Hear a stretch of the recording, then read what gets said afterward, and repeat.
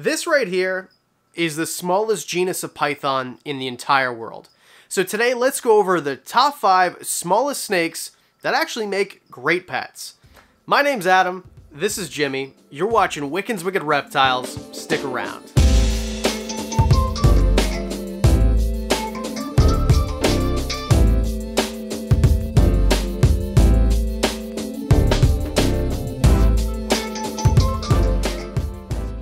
Before we get into the list, disclaimer, all of these animals, all of these snakes are not the smallest snakes in the world. There's going to be no, you know, ring neck snakes or anything like that because they don't make great pets, no blind snakes. We're talking about the smallest snakes that thrive in captivity and you'll probably enjoy keeping. So, started off, number five, Antaresia. I don't normally get into genuses and super scientific, but there are four species in the Antaresia family, Stimson's pythons, anthill pythons, children's pythons, and this right here is a spotted python. So, the reason that I break it down like that is because they're all kind of the same size. They all look very similar. This is a spotted python, so the largest of the Antaresia genus. But when I say largest, I mean, it's not a big snake. These guys get to maybe four feet. And of course, these guys are from Australia. So if you're Australian, you're thinking, well, everybody knows Antaresia. I got a children's python as my first snake. Well, here in North America, and definitely in parts of the UK as well, these guys aren't super duper popular at all. But they should be. I mean, if you like something that's maybe a little bit smaller than a ball python, has lots of personality, is semi-arboreal, you can see him trying to get to the highest point, which is this microphone up here, uh, they're just a little bit more fun in my opinion. And I think that they're fantastic, easy to care for. The enclosures don't need to be super big. So if you had one that was say like a 4 foot by 2 foot type of enclosure, 4 foot by 2 foot by 2 foot, it's enough space for them to get up. You could always give them more height if you want. Enough space for them to stretch out and they're going to be able to thermoregulate in that area and keeping the humidity is pretty easy as well. So they're almost like the perfect snake. In my opinion, these guys are going to gain popularity because if you're looking for something that is not intimidating because you're newer to snakes or your family's newer and won't let you get anything intimidating, and you want something that has a nice type of behavior, inquisitiveness type thing that eats really well on rodents right away, but is still impressive enough that it doesn't look kind of dinky looking. I mean, what else would you want besides something like this? This is, in my opinion, one of the most perfect snakes. Why is it not higher on the list? Simply because everything on the list is smaller than this. So, let's move on. Number four, Kenyan sand boas. Now, most sand boas are pretty darn small. Kenyan sand boas are probably the most prominent or easiest to be found. They're not super expensive at all. They're pretty cheap, in fact. I saw one today on our local classified site, Kijiji, for 100 bucks with the enclosure. And they have a bunch of morphs, so if you want, you know, an anery one, or if you want one that's an uh, albino, or there's a bunch of other ones as well, some absolutely gorgeous ones. Uh, the reason that they're so popular is because they're small. One and a half to just under three feet is basically where you're going to find these guys. So they're kind of a perfect size for someone who wants something really small. And they're in the boa family. People love boas. They do kind of act like boas the way that they eat. They are a little bit smaller, a heck of a lot smaller than most boas that you know. But, I mean, they do still give live birth, so they're still a boa, after all. And they've got these derpy little faces with the eyes on top of their heads, and they stay buried in the sand which is kind of why I've got them so low on the list. They're smaller than these guys, which in my opinion are kind of a perfect snake, but Kenyan sand boas, if you'd like to look at a layer of sand in a tank for most of your time owning a snake, Kenyan sand boas are right for you. They spend most of their time, and I know there's anomalies, there's going to be people in the comment section.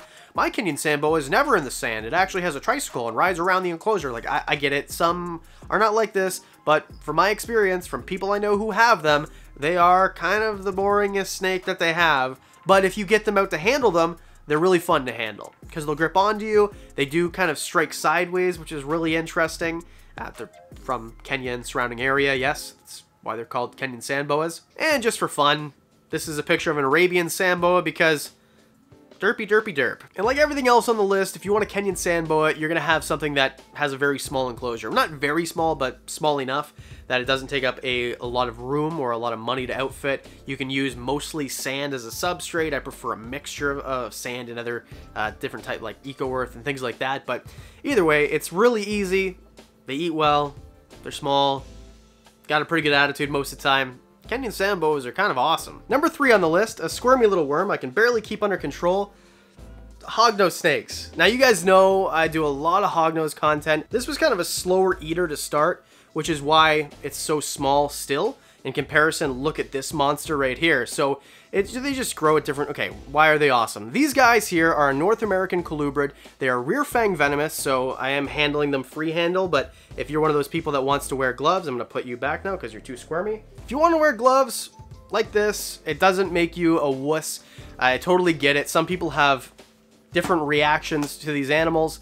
These guys are only going to get to three feet if you get a big female. We're talking between like a foot and a half to just under three feet. This is Ekans, my biggest female. She's just under, I think she's like two foot nine inches, something like that. So they can get to uh, decent size beefy wise, like the, the girth. Um, Ekans pumped out a bunch of eggs two months ago, so she's not quite as beefy as she was. But if you saw a couple months ago when she was full of eggs, it looked like a sausage casing that was full, like overstuffed with meat. These guys are absolutely fantastic. They're derpy as can be. They've got these derpy little faces with the upturned snouts. Their bodies are weird too because they're not constrictors. They're rear fang venomous, so that's how they kill their prey, pop toads or whatever. So these guys don't need to constrict their prey, and they're not arboreal, so they don't have a body that holds on to you, like with my buddy Jimmy there, semi-arboreal python, holds on to me.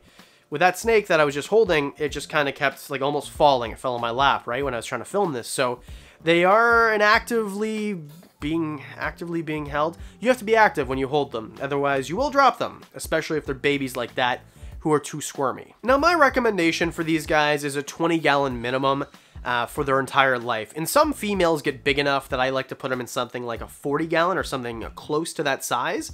Now, it just depends. It's up to you. They do like to burrow, so the substrate, I mean, aspen substrate is perfect. So it just depends how you want to do it. Now, if there is a drawback, they are picky as babies. Now, I had nine babies this year, three of them, I still need to scent the food in order for them to eat. So that is the drawback, but if you get yourself a Western hognose snake, we're talking about Westerns by the way, it should have been in the title there, because there are Easterns and there are tricolors and things like that, but Westerns is what I've got experience with and the most common and the easiest to get eating on rodents. So, but if you get one from a breeder, they would have already done the work for you, got them on rodents. If they ever go off again, well, we've done videos about how to get your snake to eat again. Hognose snakes, number three on the list. I know if you've been watching for a while, you thought they were number one. Two to left. Number two on the list is a very unique animal. Egg-eating snakes. Now, egg-eating snakes are kind of weird looking. They look different, they act different, they only eat eggs, which is why they're called African egg-eating snakes. And they've got no teeth, so that's very unique, which means that they can't bite you. They'll try, like they will kind of go at you with an open mouth, but they don't have teeth to bite you with. Instead, they take an egg, appropriately sized finch egg, quail egg, whatever, depending on the size of the snake. They put it in their mouth, they crunch it up with these kind of uh, vertebrae projections, projections on their vertebrae in their mouth. So it goes into like here, like if it's a snake's a human, then like this far basically, and then sucks out the yolk, uh, the egg white, whatever else is in an egg. I'm not an egg expert, and then they spit out the shell. That's it. They one thing. So if you've got a constant supply of finch eggs, button quail eggs, and then when they get to adults, eggs from quails, you're good. Very easy, very simple. I mean, it's just the difficulty here is uh, do you have a supply of these eggs? Which is the reason I don't have one. I can't find finch eggs. Um, I've asked basically every one of the local pet stores. I can't find a supply, which is why I don't have them. But they're awesome because their temperament, they can be tamed down. And even if they're not tamed, they're not going to be sinking their teeth into you because they don't have any. So yeah, I mean, they're kind of a great snake. And they're small, like everything else in the list. They'll get two to two and a half feet, something like that. Uh, they don't have a super big body. I mean, it looks kind of funny when they're eating eggs. We've all seen this meme here. This is an egg-eating snake. This is what this is. So one of the coolest snakes that you can find. They can live their whole life basically in a 20 gallon, which goes for this Kenyan sand boas as well. These guys are to need something more like a four foot by two foot by two foot, something like that. And I think with that, we can move on to number one. Okay, number one, my opinion, the coolest small snake that there is, and one that I do not own because in this area, they're hard. Okay, get to the point. What is it? Rosy boas. Everybody has been calling for it. Dude, you gotta talk about rosy boas. Rosy boas are awesome. You gotta talk about them. And you're right, I do gotta talk about them. I was hoping I could find one. There are very few reptiles left in my list that I need for my personal collection. And when I say need, I mean just really, really want. Rosy boas are at the top of that list. I love boas, but I love smaller snakes. Don't get me wrong, I love my girl Franny. I love Marowak. I love bigger boas. But I also like small snakes, or kind of snakes that are the perfect size for what my opinion is of the perfect size. Rosy boas being only two or three feet, in my opinion, kind of perfect. I love the fact that I get a ball python, right? So I've got a ball python, which is about four and a half feet. They can get all the way up to six if it's a giant, giant female. And then you've got, say, these guys, a little bit smaller, Antaresia, four feet. And then if you want something smaller, still acts snaky, like a boa would, for example, and kind of looks like a boa and has a beautiful pattern, a rosy boa. They've got a great temperament most of the time. You cannot go in my mouth. And they're small, so they're not super intimidating. They also have this really strong body, so when they hold on to you, they hold on to you for real. And this is a North American uh, species, so there's only two species of North American boas that I know about. Correct me in the comment section if I'm wrong. Rosy boas and rubber boas. And the reason rubber boas aren't on the list, they are almost impossible to find. Rosy boas are easier to find, they're way easier to breed. Another live bearing snake, by the way. So, I don't know, I just think that these guys kind of fit. And I know that it's kind of weird for me to say that about an animal I don't actually have, uh, but I do know people who have them, and I'm kind of like the last one of my group of friends not to have one.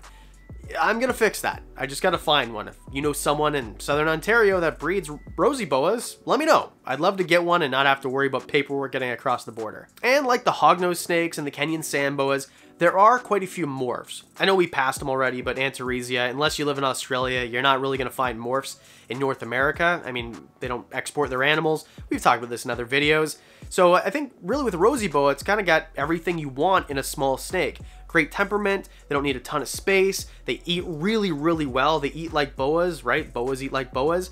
And they've got uh, these morphs. So they're kind of the perfect snake in my opinion. Can't wait to get one. Again, comment section. Throw it down there if you've got one or you know someone who has one, sort of kind of locally. I'd love to have one. So there you go. Those are your top five super tiny, smallest snakes that make great pets. What do you think? Is there something on the list that doesn't belong? Did I forget something? What would your top five have been? Throw that in the comments section. As always, the reason I do these videos is because you guys asked for them in the comments section. So that's why I put it down there. And of course, I talked about cage sizes for all of these animals. If you need a wicked, top of the line enclosure, PVC enclosure, my friends at Kages will hook you up. Click the link in the description. It lets them know that I sent you. Great prices. I stand behind these products. I can't do a video without saying the most ridiculous thank you to the Patreon supporters. You guys are unbelievable. You're commenting on videos like four seconds after I post them. You get to see the videos a couple days early, some extra content. You get to know about animals in my collection that I haven't told anybody about yet. If you like discounts on the merch, if you're interested in the merch, we got that too. And of course, if you haven't already, join the Discord. It's free.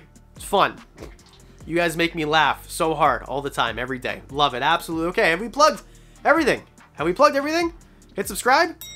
All right, see you on Thursday.